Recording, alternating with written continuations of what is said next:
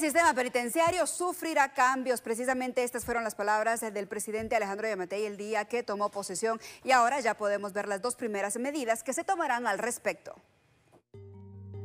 Yamatei dio a conocer que en los 22 centros carcelarios del país habrán nuevos directores y subdirectores. Según el mandatario, todos hicieron pruebas de confiabilidad. Explicó que Estados Unidos fue quien entrenó a los nuevos funcionarios de presidios.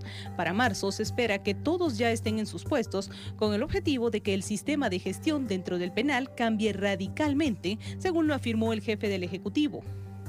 La semana pasada, Jorge Flores, director del sistema penitenciario, indicó que se trata de una renovación del sistema carcelario y que las personas que ocuparán los puestos están aptos en materia administrativa, en valores y profesionalismo. También como una medida para hacer que las privadas de libertad sean productivas y ganen dinero de forma lícita desde la prisión, el gobierno afina los detalles para que éstas confeccionen la ropa de cama para médicos y quirófanos que se usa en los hospitales.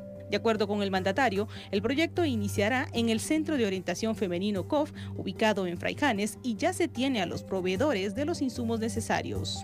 En marzo próximo podría arrancar el mecanismo que tiene como fin ahorrar recursos al Estado por la compra de ese material y propiciar que las reclusas trabajen mientras cumplen condena.